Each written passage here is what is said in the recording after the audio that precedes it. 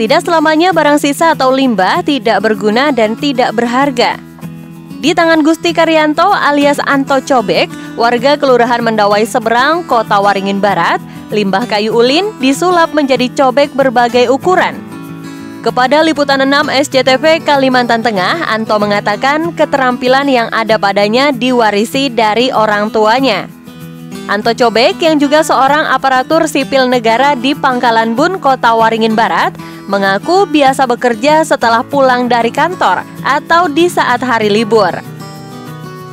Selain membuat cobek berbagai ukuran, dia juga membuat beberapa perabot dapur seperti piring dan sendok nasi, serta beberapa hiasan yang semuanya berbahan dasar limbah kayu ulin.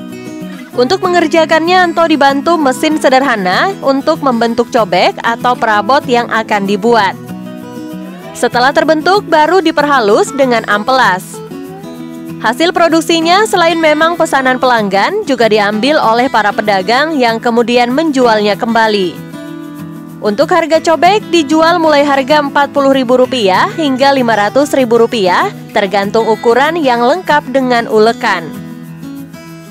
Untuk membuat cobek atau perabot lainnya yang dibuat dari kayu ulin mengkilap, Anto tidak menggunakan bahan pewarna yang mengandung zat kimia, tetapi hanya menggunakan minyak goreng.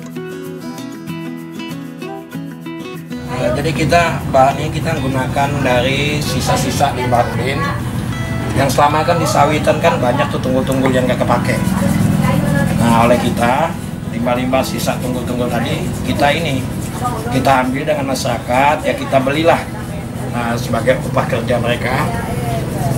Nah jadi ini masih uh, apa bukannya pohon utuh namun kita tunggul-tunggul yang sudah bekas-bekas tebangan bekas-bekas perkebunan yang yang sudah tidak difungsikan lagi. Inilah yang kita ambil. Jadi kalau untuk rumah kita ini dari ukuran cobek ya dari ukuran 20 ini sampai ukuran 50 jadi variatif harga dari 40 sampai 500 nah, kemudian ada juga saat tergantung pesanan. Ada mereka itu kan maunya pakai tutup. Nah jadi kalau pakai tutup itu itu dua kali harga dari yang harga dasarnya. Karena kita menggunakan bahan dua. Kalau untuk yang kecil-kecil untuk satu hari dapatlah kita kurang lebih 15 ya karena alat kita kan manual. Kalau yang besar sampai berapa? Kalau yang besar ya paling pol kita ya 78 biji pol sudah itu sampai malam kalau sebelum covid penjualan kita ya istilahnya sampai ke luar pulau arti kata kita pernah Bali, Surabaya dan Jogja namun semenjak covid ini ya kita mau tidak mau sesuai dengan aturan pemerintah ya kita jualannya lokalan aja. Pembuatan kerajinan ini yang sifatnya kita dari Kiul ini bukan hanya terpaku pada cobek tapi bermacam-macam.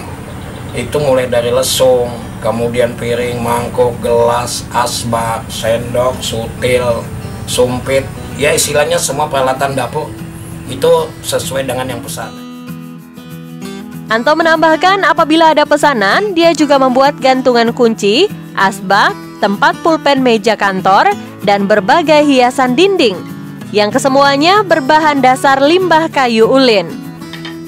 Rudi Bintoro dan Ririn Binti melaporkan dari Kota Waringin Barat.